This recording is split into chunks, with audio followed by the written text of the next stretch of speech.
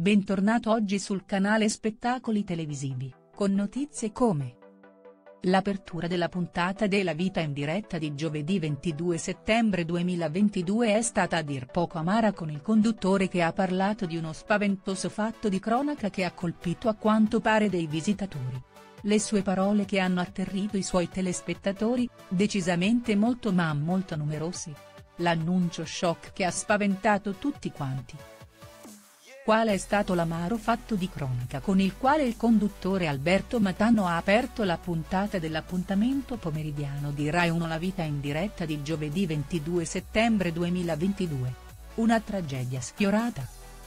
La vita in diretta, così ha aperto la puntata Matano. Si è aperta con l'incidente avvenuto nelle scorse ore a Villa Borghese nella capitale, la puntata della vita in diretta andata in onda giovedì 22 settembre 2022, dove il padrone di casa, entrando in studio, ha commentato quanto accaduto parlando di tragedia sfiorata e sottolineando che si è rischiato il peggio per una scolaresca in gita sul posto. Ma che cosa è successo? Il racconto dei fatti. In pratica al Globe Theatre è crollata una scala causando dei feriti. Attimi di vero panico e di terrore per i presenti che non sapevano sostanzialmente che pesci pigliare.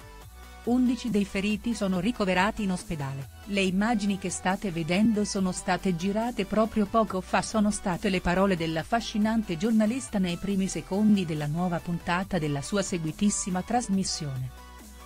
È crollata una scala la scala è letteralmente crollata e i visitatori sono volati giù per diversi metri ha spiegato Alberto Matano sempre commentando le immagini che nel frattempo la regia stava trasmettendo, sottolineando subito dopo, per fortuna nessuno dei feriti è grave.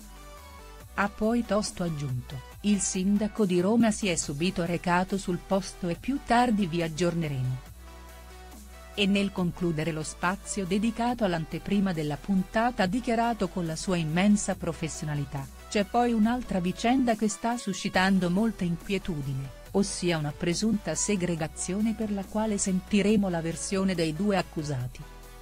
Spazio alla cronaca ma non solo. Dopo il primo blocco della trasmissione, interamente dedicato alla cronaca e all'attualità, la vita in diretta ha dato poi ampio spazio a temi ben più leggeri, con la presenza di quattro ospiti, decisamente molto ma molto graditi. O meglio, sarebbe meglio dire gradite, visto che sono state tutte donne. Stiamo parlando di Giovanna Rei, Rita Rusic, Barbara Alberti e Simona Izzo. E proprio quest'ultima, nei secondi finali, ha fatto una battuta al conduttore dicendogli, abbiamo già finito? No. Sorridendo alle telecamere, il bel e bravo Alberto ha salutato i telespettatori dando appuntamento al giorno successivo, non prima di invitare tutti ad andare al cinema a vedere quel posto nel tempo, pellicola della quale è grande protagonista l'attrice Giovanna Rei.